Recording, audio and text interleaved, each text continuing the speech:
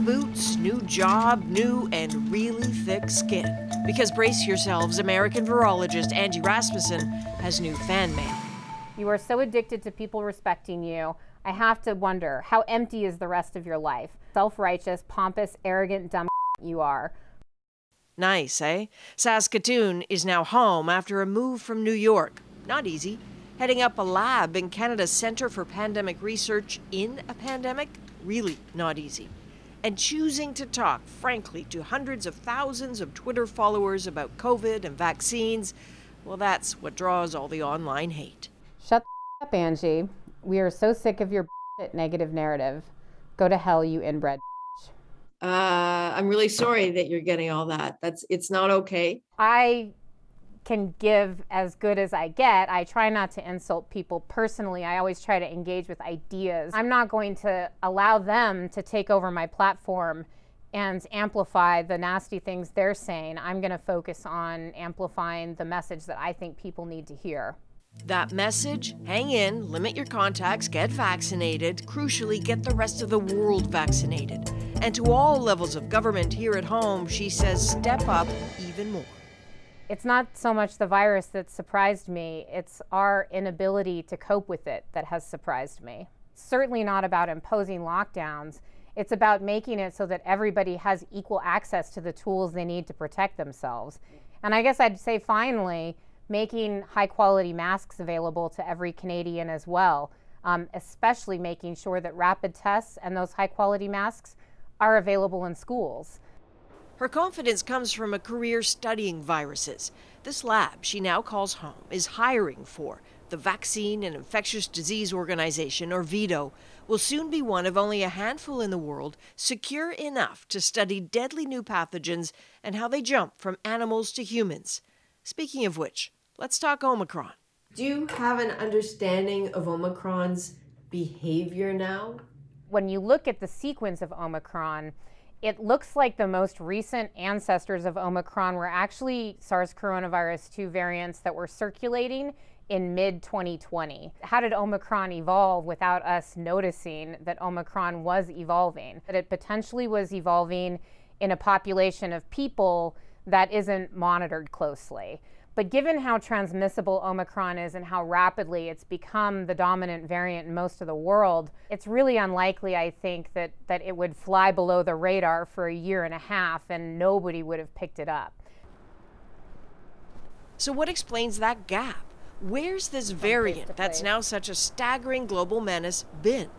Rasmussen's curiosity aligns with her research that just maybe the variant has been hiding elsewhere, maybe coursing through animals instead of humans. And if so, that's a problem. We could be looking potentially at future variants coming out of out of what's called spillback or infection of animals from the human population the virus starts spreading in those animals and then potentially can pop back into people. And that is one hypothesis for where Omicron came from. But I don't know how worried I should be about what you're saying.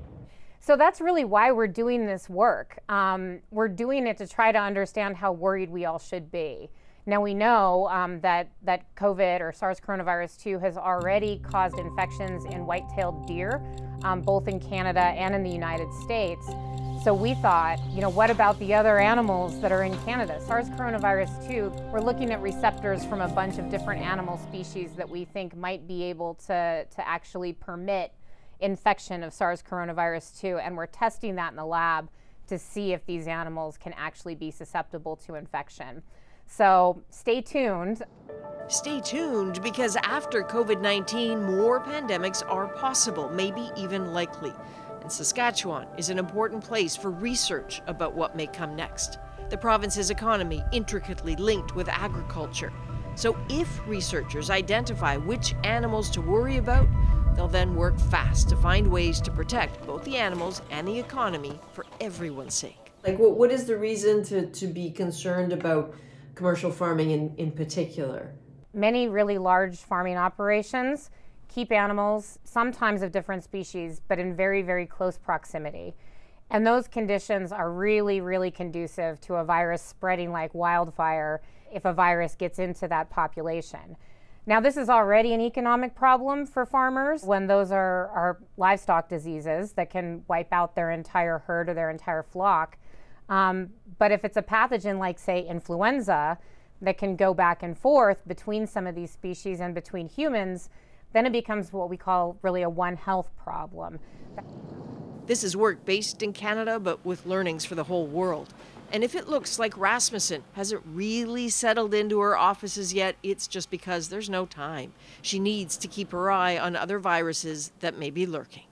If we have a pandemic that has a much higher case fatality rate than SARS coronavirus 2, which is comparatively very low uh, next to those other viruses, we are going to be in a world of trouble. And this pandemic is going to seem like a cakewalk in comparison a scientist working with urgency on two fronts in the lab and in the murk of the online world. Correcting misinformation, explaining the science over and over again, taking the insults and threats and still pushing for more vaccines, more protections, and ultimately a bit of hope. The least I can do is, is help empower people with some information about that and let them make their own good decisions about public health for them and their families with the, the best information that they possibly can. There is no such thing as a forever pandemic. It will at least become easier for us to be living with.